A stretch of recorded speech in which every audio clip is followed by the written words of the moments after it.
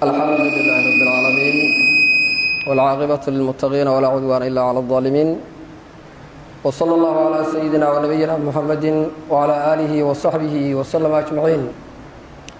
وبعد فقد قال الله تعالى في كتابه العزيز وهو أصدق القائلين والذين يؤذون المؤمنين والمؤمنات بغير ما اكتسبوا فقد احتملوا بهتانا وإثما مبينا. صدق الله العظيم. ولا ليال in sha allahu tacaala waxaan doonaynaa masaa-ishii lagu daleeceeyey culamaa'ul ashaacira. Oo wax ka mida aynu ka soo jawaabnay jumcadii horeeto inaynu markaas qaybihii dhimanaa in sha allahu tacaala innagoo soo koob koobanna ayagana aynu maanta ka jawaabno ayaan doonaynaa shiikhii aynu isla soo sheegnay jumcadii horeeto oo eedayntaa iyo daleecadaas.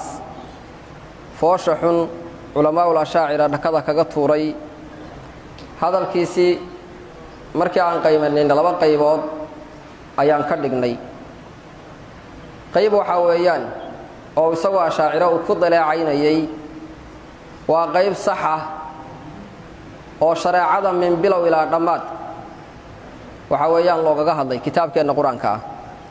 Asbuucii hore ama jumcadii hore ayaynuna ka soo hadalnay masaladaas waa masalatu nadar.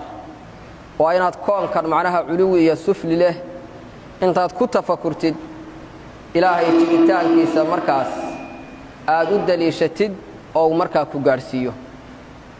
Qur'aanka kariimkaabaana min bilow ilaa dhammaad ka hadlaya. Qaybta kale waxay ka kooban tahay saddex.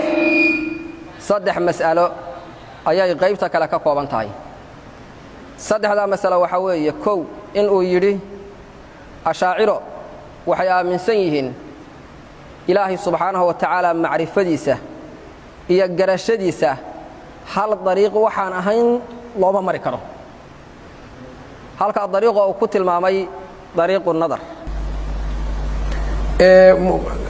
Fadhigan marka waxaan rabaa inaan ka hadlo nadarka ay leeyihiin ilaa qofka laga helo iimaankiisu ma ansaxayo muqallid buu iska ahaana.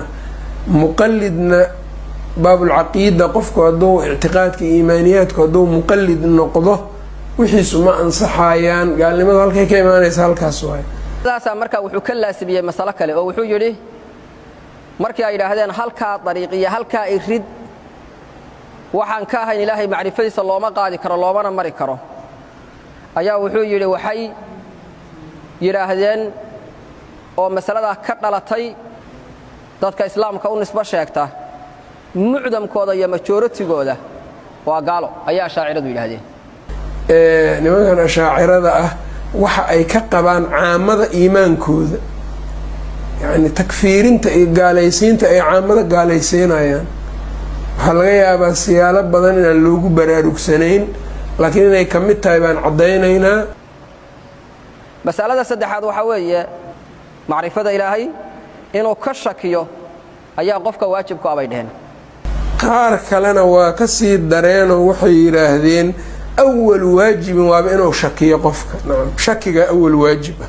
Lianna shakigaa lagu gaaraa nadarka qofku markuu horta shakiyo caalamkan saanic maleeya talow mase ma laha uu ka bilaabaa markaas kabacdi baa marka waxaa imaanaya inuu marka kor fiiriyo hoos fiiriyo nafsadiisii fiiriyo muqadamaad isu geeyo kadibna marka uu ka uu keeno markaasi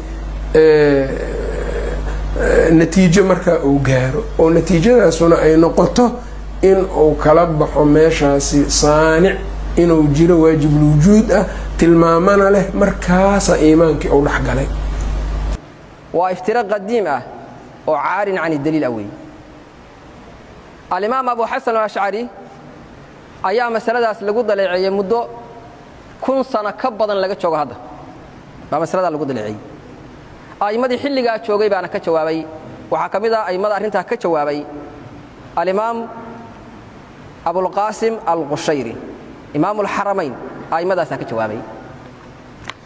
Alimaam abulqaasim alqushayri markii uu ka jawaabayey risaaladiisa la yidhahdo shikaayatu ahli sunna bixikaayati maa naalahu min almixna risaalo magacaas leh ayuu leeyahay ayaa wuxuu yidhi wa amaa maa qaaluu ina alashcariya yaquulu bitakfiiri alcawaam fa huwa aydana kadibun wa zuurun wuxuu yidhi waxyaalaha ay yidhaahdeen dadka ashaacirada ku iftiroonaya ee ku been abuuranaya oo ah in abi xasan ashcari uu qabo dadkan cawaamta ah macnaha bulsho weynta guud inay gaalo tahay.